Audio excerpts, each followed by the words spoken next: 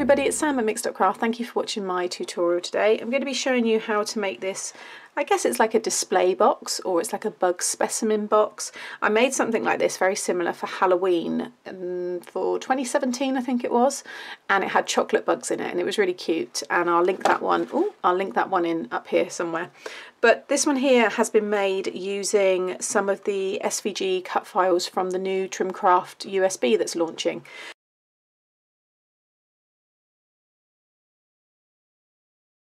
Um, we all got sent that a few weeks back now and were asked to just kind of, you know, make some projects. So this is one that I've come up with. And on the side here, you'll see this raised piece of acetate to just give the kind of look of it being in a case.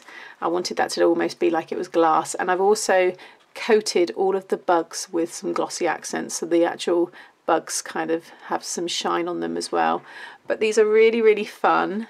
You'll see them under there. You've got the ladybird as well. That one's still drying just a little bit there. It's a little bit cloudy.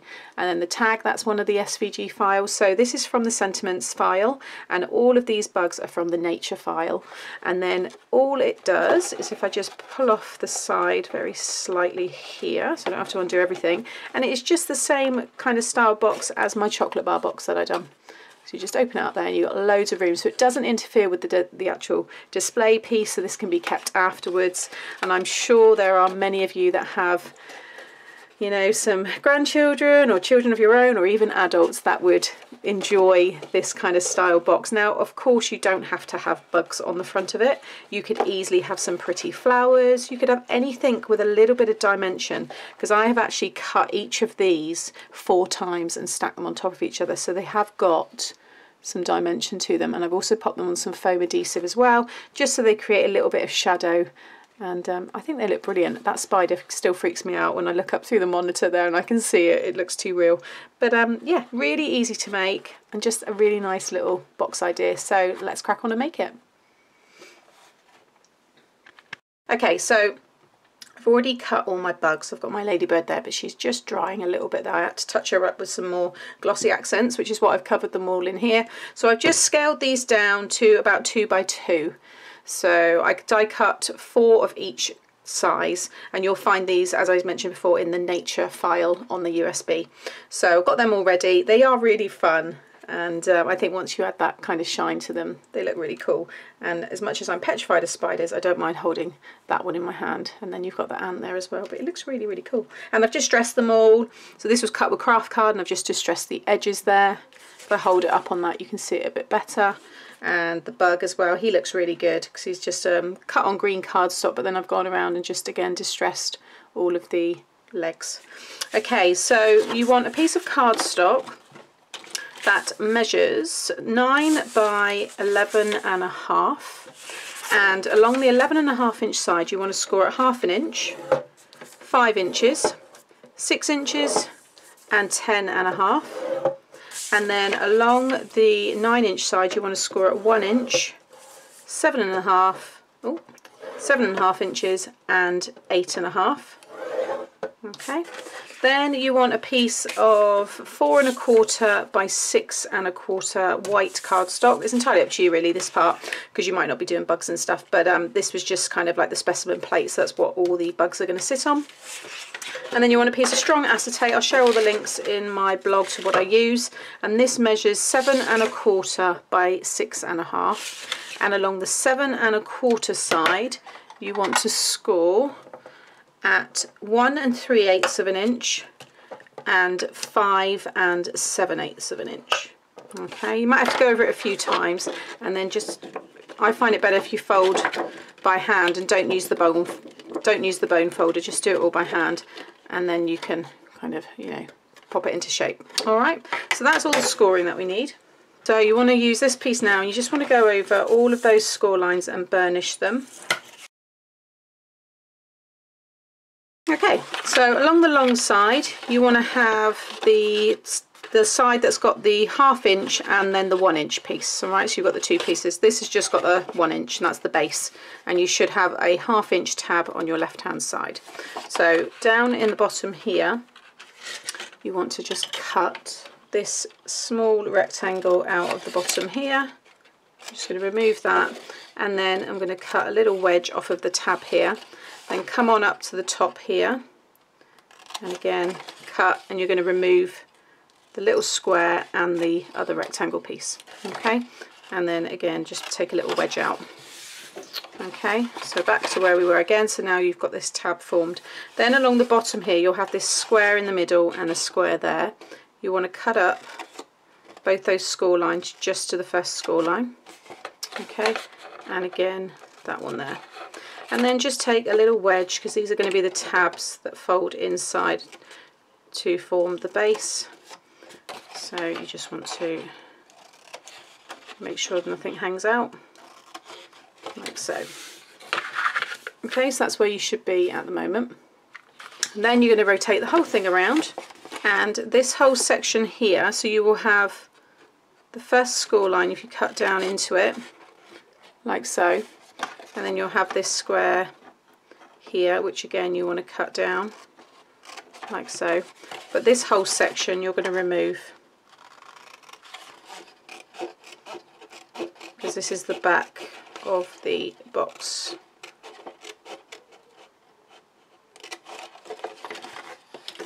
Okay. And then you want to cut down this one like so. And then remove the two at the top. And again that one there. And with any kind of box where you're going to have a little closure kind of slots inside. With these tabs you always just want to take just a very small amount off just like a slither enough so it doesn't overhang but you want the little kind of piece that folds in to be able to have something to grip onto.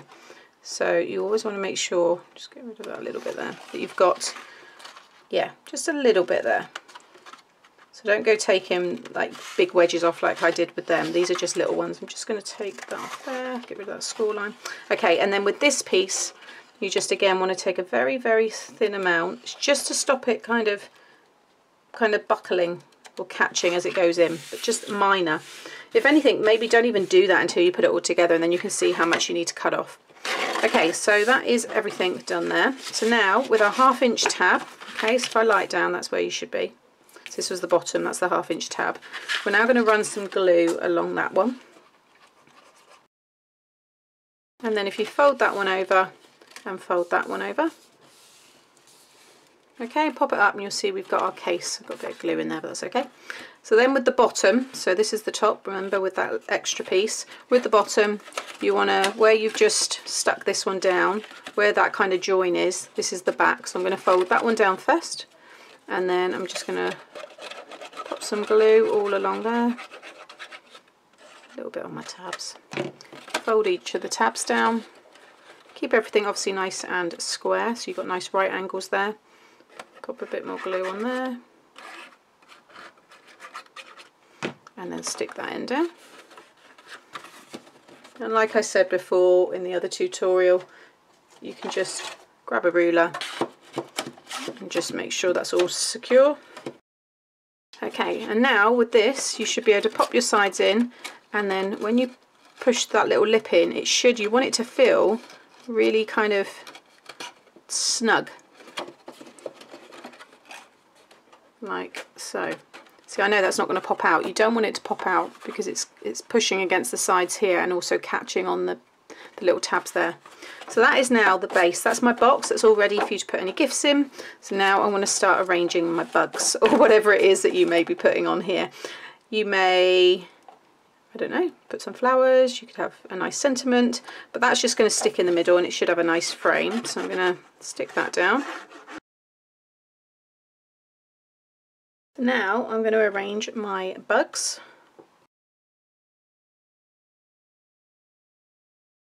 Okay, so that's all stuck down. Now I'm going to use some foam pads just to raise everything a little bit and I've got these ones here which are the Dot and Dab range by Trimcraft but they are black and they'll be perfect for this because obviously you know everything's pretty dark and they're, they're just they've just got enough dimension and they're nice and small they're little squares so I start with this one first and just stick a few. I don't need many, but like I said, because they're black, I can uh, get away with it.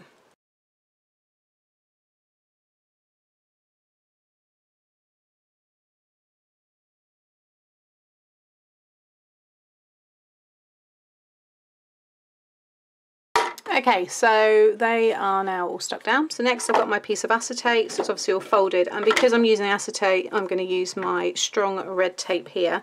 And I'm going to be covering the bottom. So on the insides of each of those side pieces, you want to run some tape right along the bottom of the acetate. Now if you want to, you can wrap the acetate right the way around underneath. But, well, one, I was just saving acetate. This is obviously easier as well in terms of scoring because you have to either go into centimetres or sixteenths of an inch because you need it to wrap all the way around. So I just figured it's just easy this way. So and make sure it's all stuck down. I'm going to do one side first. Make sure you've got no bits or anything underneath this. I've made sure mine was nice and clean. And then you're going to stick it along the bottom here okay so I'm actually going to keep mine down because the acetate can go flush with the bottom here. So I'm going to kind of slide it like so. It's exactly the same width of the box. And then I'm just going to bring it up carefully. And you just want it to go dark in colour. Can you see? It kind of starts to go dark once you've stuck it all down. So what I might do is open that up and then I can go in with my ruler and really push down. It's going dark. I'll rub that a bit more in a minute. And then this side here, I'm just going to take the backing off there. And again, I'm just going to kind of kind of spray it out like that and then kind of bring it in until it, it should kind of all just fall into place but that has nicely. Because it is slightly raised it's quarter of an inch higher. Just to give it an unusual look it's got that real it's hard it's hard to pick this up on camera but you can see there? It does just look really cool. I really like this idea. Okay, so now I've just cut two strips. So these are the same length, so it's six and a half, and they are, you just want it to be enough to cover the tape really. So this is five eighths of an inch by six and a half and I'm going to stick one over the top like so and then the same on the other side.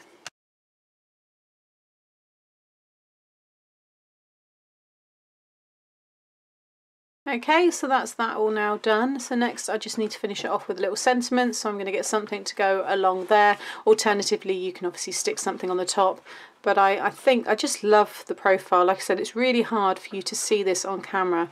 But it really does look like a little specimen box. And you've got that great space inside there for some really cool treats. Okay, so there you have it. Really, really cute, fun little gift box. And I think this is going to be perfect for any children that just love digging for creepy crawlies and picking up bugs and stuff. So I was one of those children, but not spiders.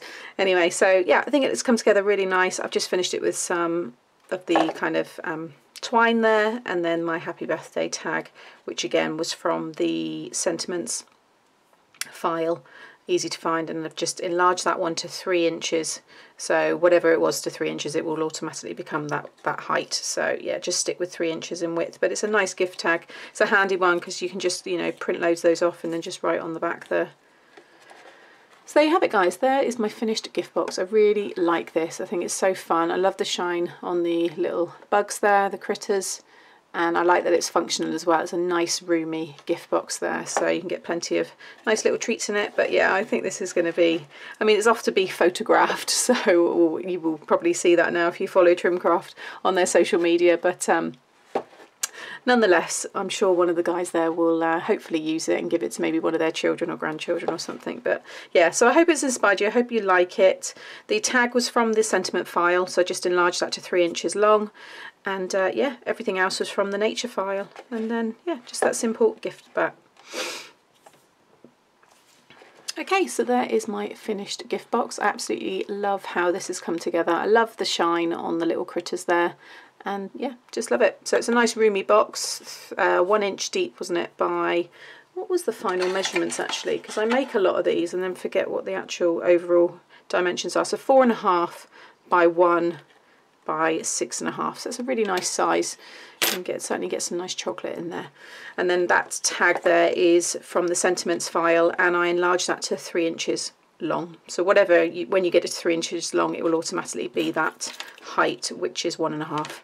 And then just finished it off with some twine and I love it. So I hope it's inspired you. I hope it's, um, again, if you, you know, didn't, you don't follow Trimcraft or anything like that, at least I'll share their links and then you can head over there. There's so much inspiration. The craft blog is brilliant. I'm always on there having a look and seeing what other people make and stuff. It's a, it's a really nice area and you can upload your own makes there as well. So that's really, really good. But yeah, have a look at the USB. I'll share links and things to whatever I can in the video description below. And until next time, please give me a thumbs up if you enjoyed today's tutorial and subscribe to my channel to see more. Thanks for watching. Bye.